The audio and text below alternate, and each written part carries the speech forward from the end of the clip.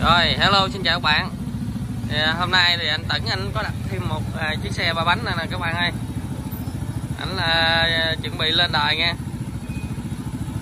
Đặt chiếc xe ba bánh này rồi xong rồi chắc mai mốt cái mua bốn bánh nữa các bạn ơi. Đó. Chiếc xe này xe của ảnh nè tại vì à, cái cái cái cái cặp bánh này sau thì nó hơi rộng quá.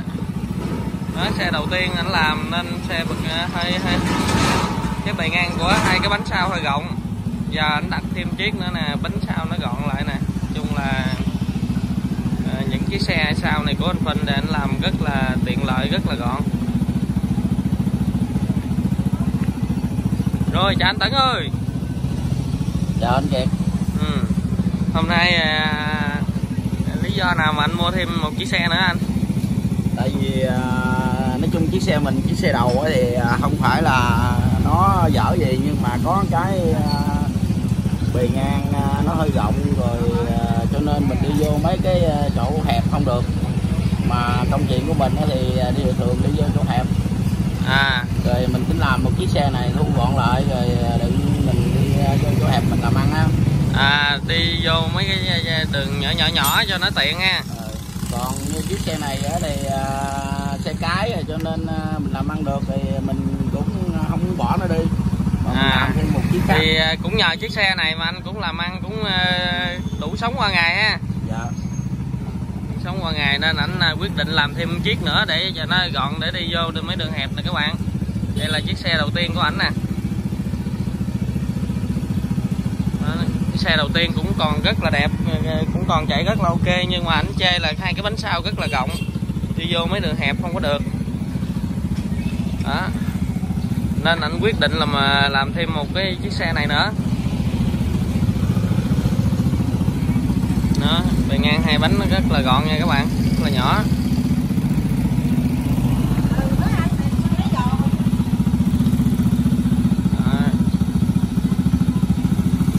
Ừ anh mua cái cái cái chiếc xe này cái, cái hai bánh nó hẹp đó, vô đường hẻm để làm gì vậy ha anh tật?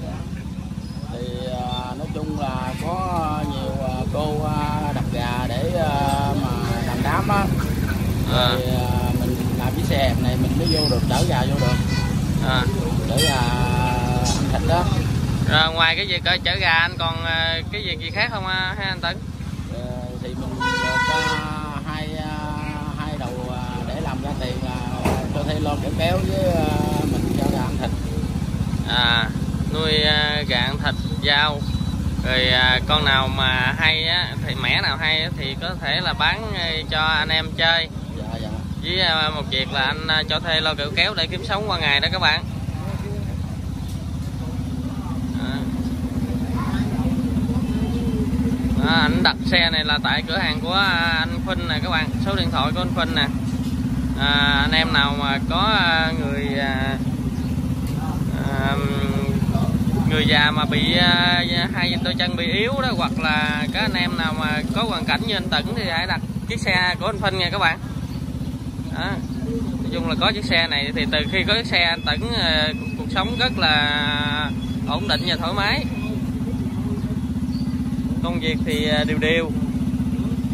Ngày kiếm thu nhập cỡ nhiêu tiền ha anh Tấn?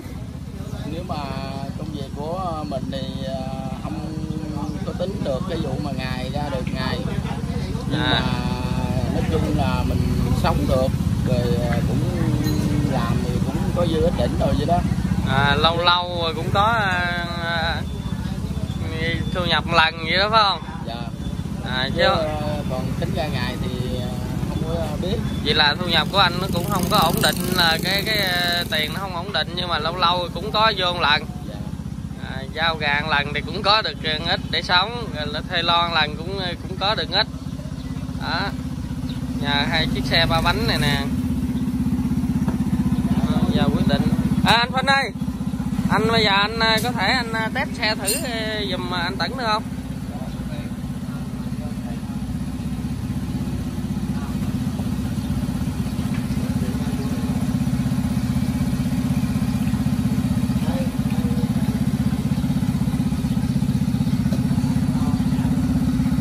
Yeah luôn.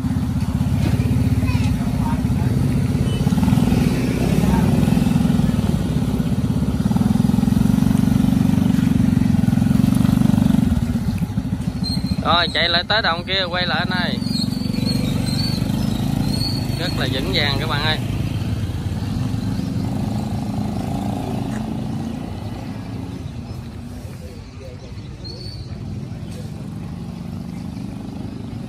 Quay đầu hay là chạy tới hay là ve gì nó cũng rất là vững.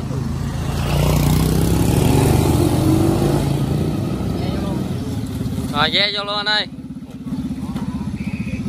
quá hay.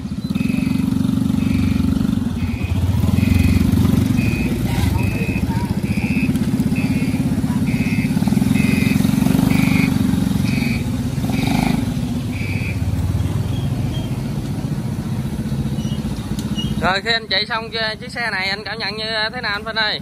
Rất là êm. Rất là tiện